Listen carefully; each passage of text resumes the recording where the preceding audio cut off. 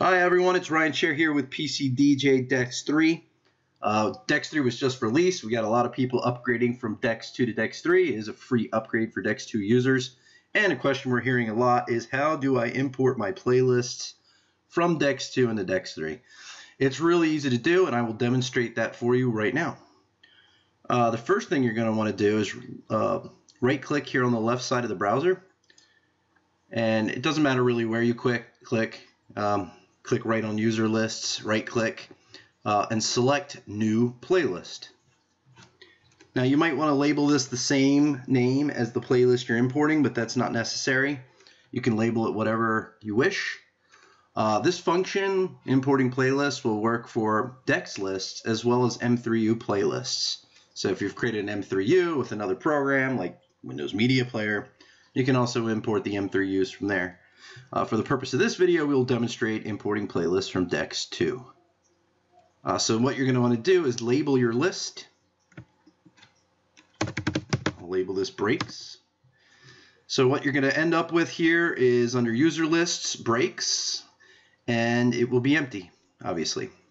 So the next thing you're going to want to do is hit the plus sign. The plus sign here in the software is the same as the add button in DEX 2. You'll notice this dialog box looks very familiar. Uh, so once you hit the plus sign, the next thing you're going to do is select import playlist. So you're going to import a playlist and then you're going to go to your documents folder because that's where Dex2 stores its playlists. Go to documents and I've got Dex3, Red, and uh, Dex2 on here or Dex, yeah, Dex2, Dex3, and Red Mobile uh, too. Uh, we're going to go into the PCDJ-Dex folder. That's the folder for Dex 2. Going to go inside the playlist folder.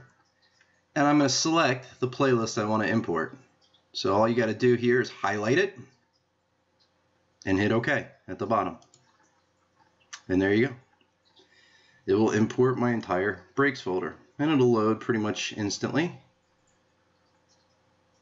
It is building the album art for those songs that do have album art. And that's it. So you just re repeat that process for all your uh, playlists from Dex 2, and you can import them as user lists into Dex 3. Of course, also with Dex 3, you can now nest folders from your hard drive as favorites, and they become groups, uh, which is probably the way a lot of people will build their library. But if you've created playlists for specific events, uh, importing from Dex 2 that way is a perfect way to do it. Thanks.